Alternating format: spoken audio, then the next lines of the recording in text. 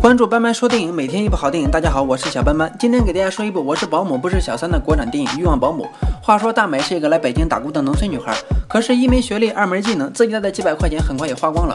为了能够在这个城市生活下去，大美撕下了电线杆上的小广告，然后应聘到了一家保洁公司当保姆。晚上睡在这个不足十平米的小黑屋里，天亮后到保洁公司报道，接到了自己的第一份工作，一天三十块。大美为了这三十块，心不甘情不愿的来到了一栋别墅前。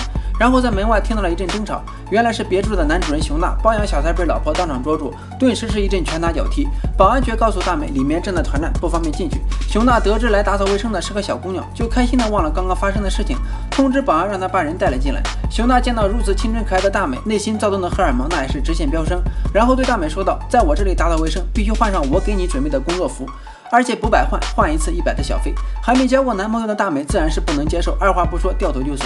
晚上回到小黑屋，弟弟因为和别人打架，被对方要求赔偿六百块。大美一听自己现在都养活不了，哪来的钱给这个不争气的弟弟？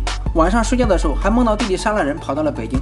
从梦中惊醒的大美接到了里面的电话，熊大指定大美去家里打扫卫生。为了能够给弟弟筹到钱，大美无奈再次来到了熊大家。熊大也再次提出了换衣服的要求。大美这次没有拒绝，终于脱了自己的工作服，换上了熊大准备的性感女装。熊大看到大美出现的那一刻，坏坏的一笑，扔下钱就出去了。大美也没有多想，收下钱就给弟弟打了过去。回到公司后的大美不想去熊大那里上班，却被怀疑被包养。没好气的说不想干就辞职。为了能够在这个大城市生活下去，大美没有办法，只能继续在熊大家上班。才一个月的时间，大美就赚了不少钱，不但给家里打了很多钱，还给弟弟买了一部新手机。看得出来，她是一个好女儿、好姐姐。可是这个时候，妈妈却说弟弟来到了北京，准备投靠自己。大美一听，顿时觉得压力山大。回到别墅后，熊大告诉大美，明天不用来了。大美则急得团团转，自己正需要钱，并把自己的苦衷都告诉了熊大。熊大一看时机来了，抱起大美就放到了卧室的床上，并答应大美：“你的弟弟以后可以住在这里。”然后两个人就这样做了不可描述的事情。弟弟随后也来到了北京，然后顺理成章的住进了别墅。熊大还请姐弟俩吃了一顿大餐。第二天的早上，熊大对大美玩起了皮鞭和撕咬，大美疼得嗷嗷叫，一把推开了熊大。为了抚平大美身体上的伤害，从口袋里拿出一打百元大钞砸向大美，然后抱起了大美走进了卧室。殊不知被门外的弟弟用手机录了下来。